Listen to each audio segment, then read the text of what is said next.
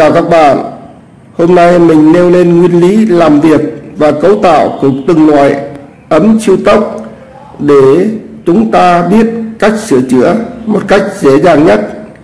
Ấm siêu tốc gồm có hai loại, một loại có công tắc đằng trên và một loại có công tắc đằng dưới, dưới dưới, dưới đáy đây, bật tắt. Nguyên lý làm việc thì thường hai ấm đều có giống nhau, nó chỉ khác nhau là loại ấm công tắc đằng trên thì do le nhiệt tác động theo hơi nước nằm phía trên này. Và dưới đáy ấm này có một do le nhiệt tác động khi nhiệt độ quá cao, nó sẽ tác động dưới đây. Ngắt cuộn dây. Và loại thứ hai là cũng có một tiếp điểm nằm phía dưới, tác động theo hơi nước. Khi nước sôi, hơi nước từ phía trên đây qua cái qua cái này nó xuống đây, nó tác động, làm ngắt cái tiếp điểm này, ngắt mạch. Còn khi nào mà nhiệt độ nó quá nóng, mà nước khô cạn, nó nóng quá, thì do là nhiệt, nó sẽ tác động, cắt mạch bằng hai dây len e nhiệt dưới đây, nó nằm dưới đây. Hai dây len e là khi này tác động này, cắt. Hắn đẩy tiếp điểm, ngắt mạch. Còn khi mà hơi nước đầy, nó sẽ chạy từ phía trên đây, nó xuống đây vô lỗ đây nó nó nó lọt vào chỗ đây nó đẩy tích điểm này. Đấy nó ngắt mạch chúng ta biết nguyên lý cấu tạo như thế thì chúng ta sửa chữa một cách cực kỳ dễ dàng. Đầu tiên chúng ta nói về một cái ấm đơn giản này trước là có một công tắc và một dây la nhiệt. Khi sửa chữa ấm siêu tốc, khi chúng ta găm một ấm siêu tốc vào mà nó không lên đèn, không lên điện không vào điện thì chúng ta kiểm tra nguồn điện trước. Nguồn điện nó lấy vào từ 220 qua cái phích cắm này. Nó được đưa vào hai cái chân. Đồng này, hai cái lẫy đồng, một cái lẫy phía trong nằm trong vòng tròn này, một lẫy phía ngoài. Thì chúng ta kiểm tra dây có bị đứt, bị chậm chập không, bằng cái đồng hồ vạn năng như thế này. Chúng ta bật lên chúng ta đo đo một chân này với một chân này, và một chân có thông mạch không? Và đầu tiên là chúng ta đo chạm chập, chúng ta làm luôn. Sau đấy, chúng ta kiểm tra xem dây có bị chạm chập không.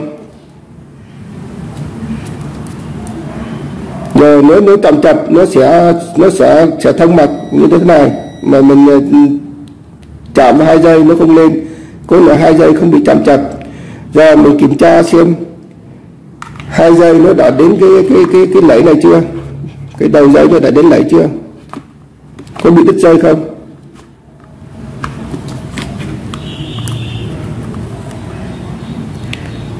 Mình à, lôi cái chân đằng trong nó không lên thì tôi chân ngoài.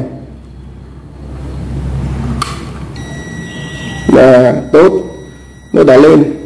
Cái dây thứ hai, nó sẽ nó sẽ thông với lẫy trong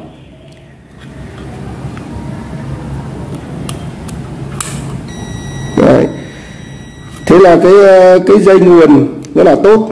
Bộ phận kiểm tra của dây nguồn của em biết là tốt. Giả sử nó không thông là nó bị đứt cái dây nguồn.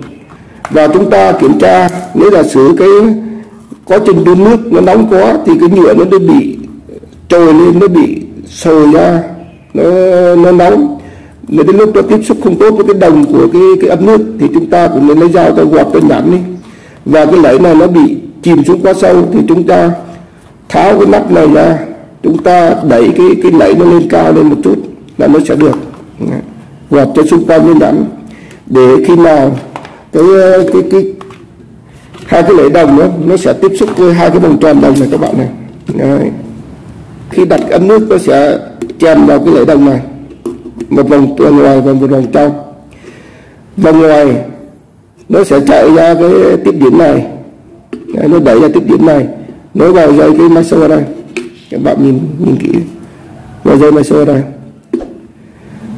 vòng à, vòng trong, nó sẽ chạy qua một cái tiếp điểm của dây dây nhiệt trong bộ phận này. Rồi nó sẽ ra cái đầu dây này. Đầu dây này nó sẽ lên tiếp điểm của công tắc trên đây. Nó chạy xuống. Khi chúng ta bật, nó sẽ thông.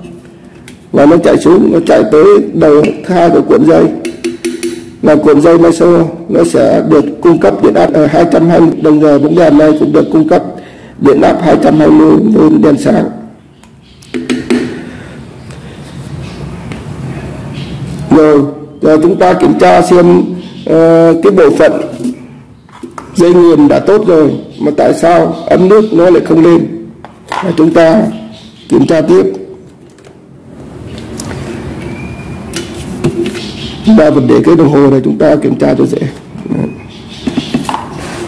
Kẹp cái chân lại. Đồng hồ nhìn độ sáng này. Kiểm tra đâu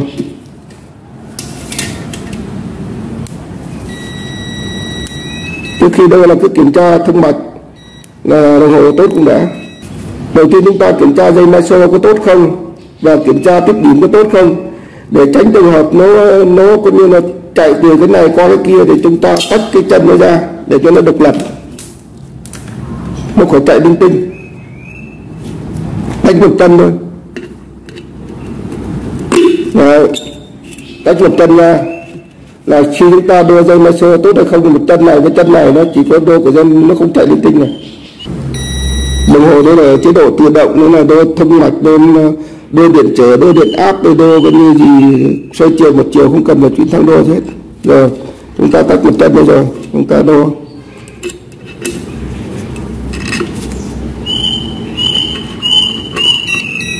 giờ nó lên ờ, ba ba phẩy bảy ôm các bạn ạ. Đấy. giờ ba tư ôm. Nó tiếp xúc cũng tốt giờ ba tư ôm. Đây là dây máy xua đang còn tốt rồi chúng ta kiểm tra xem dây lên nhiệt có tốt hơn không. Đây. dây lên nhiệt là co một cái cái vòng ngoài. Đấy, nó nó qua tiết điểm dây lên nhiệt rồi tới đây. Còn vòng trong nó chạy thẳng ra tới đây. Rồi có nghĩa là bộ phận này dây lên nhiệt tốt các bạn ạ. Chúng ta không cần sửa cái dây lên nhiệt nữa. Rồi giờ chúng ta kiểm tra cái công tắc. Công tắc trên nó có bị hỏng không? Do là nhiệt của cái cái cái cái trên này nó có bị hỏng không? Đấy. nếu chúng ta bật nó thông là nó tốt mà mà bật mà nó không thông là nó không lên.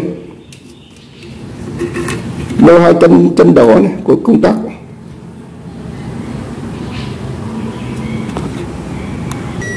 rồi là công tắc là, là thông. Chúng ta thử, thử bật à, nút tắt xem nó có, có không thông không? Và khi chúng ta tắt công tắc là nó, nó, nó đồng hồ không lên bật nó lên. Vậy khi là cái cái đồng hồ cái ấm nước nó là uh, nó nó đã tốt. Thực ra là cái ấm nước này nó đầu tiên nó không vào điện là do cái dây nguồn này các bạn này. Cái dây nguồn này là mình sửa rồi. Thì mình làm video cho nó nhanh đó. dây nguồn này cái lẫy chỗ này nó bị uh, trong đây nó bị oxy hóa và nó bị chìm xuống rồi mình tháo ra tháo cái chân này ra mình đẩy cái lẫy nó lên đẩy cái lẫy lên và đánh tiếp xúc của cái giác cắm là nó tốt. Và thứ hai là cái cái, cái, cái tiếp xúc của các cái cái này này nó bị dí mình đã đánh sạch. Đấy. trong quá trình sửa chữa thì các bạn cũng cứ làm như mình thôi. Giả sử mà nó dây nguồn nó không lên thì chúng ta sửa sửa bộ dây nguồn tháo ra đánh trong đây cho sạch. Cái này cái công tắc này không bật được nó không lên được nữa thì chúng ta thay thay công tắc, thay ra lăng nhiệt trong đây nếu không thay thì chúng ta có thể đấu tắt chúng ta dùng, nhưng mà dùng khi sôi chúng ta rút ra. Hoặc là khi mà chúng ta mà hư hỏng cái công tắc này, rồi hư hỏng cái dây ra, dây lăng nhiệt này, chúng ta có thể là đấu tắt hai dây laser này chúng ta đun đun là khi nào sôi thì chúng chúng ta nó rút ra có nghĩa chúng ta không dùng bằng dây la nhiệt. Ở dưới đây cũng không dùng dây la nhiệt trên đây. Mà chúng ta đấu trực tiếp nguồn 220V vào vào của hai cực của của cái dây laser chúng ta đun. Nhưng mà uh, ấm siêu tốc rất nhanh sôi chúng ta đun chúng ta phải đứng trực trong đấy đổ một ít nước vô. Khoảng độ vài phút nó sôi rút ra. Không để là nó cháy nhà vì không có bảo vệ một la gì hết. Và cái thứ ba khi chúng ta không dùng nữa tháo cái bộ phận la nhiệt đi tháo cái đáy đi. Và cái điện trở nó cháy rồi cái dây máy số cháy rồi thì chúng ta vứt hết bộ phận điện đi. Chúng ta tận dụng cái ruột của ấm nước này. Chúng ta đổ nước vào chúng ta bật đến bếp ga chúng ta đun bình thường. Như một cái ấm bình thường. Mình nói, ờ, mình nói thêm về cái ấm bên này. Ấm ờ, siêu tốc loại đun nước cái loại mà có bật ở dưới thì khi làm việc. Nước sôi nhiệt độ trên 100 độ C nó sẽ chạy vào cái lỗ này. Nó xuống.